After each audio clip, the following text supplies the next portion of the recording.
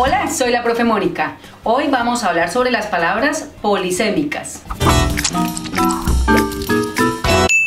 Como su nombre lo indica, poli quiere decir varios y sémicas quiere decir significado. Las palabras polisémicas son aquellas palabras que pueden tener más de dos significados. Por ejemplo, la palabra carta puede indicar un escrito que se envía por medio de un correo.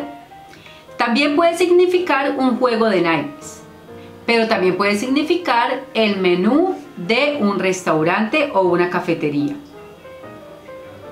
Gato es una palabra polisémica que se puede referir a un animal, a una herramienta o a una danza típica de Argentina y Uruguay.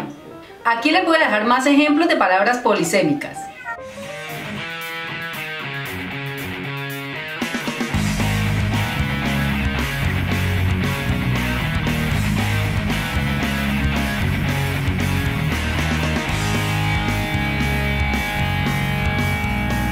Si conoce más palabras polisémicas, compártanos acá en los comentarios y nos vemos en una próxima lección.